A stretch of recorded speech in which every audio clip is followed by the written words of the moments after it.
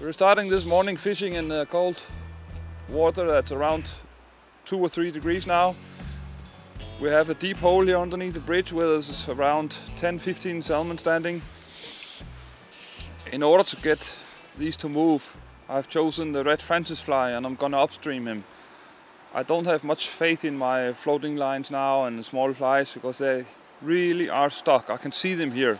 I'm gonna try to sight fish him and put this red Francis very close to him and see if he reacts to that.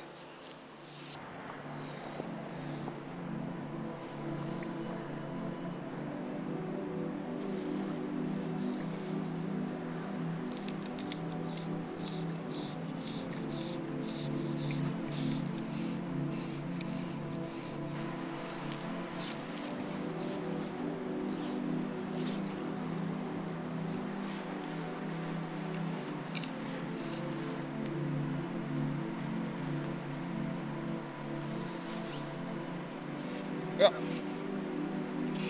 Ha det.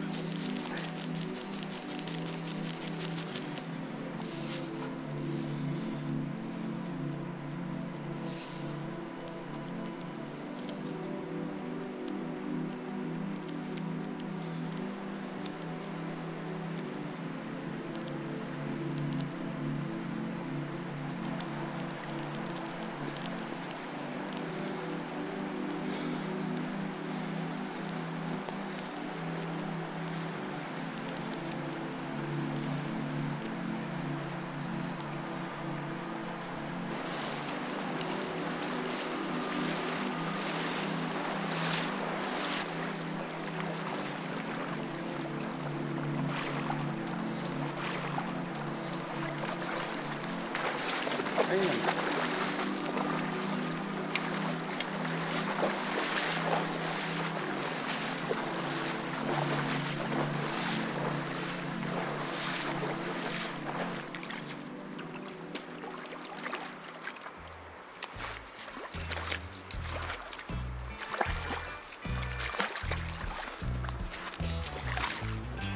Yes.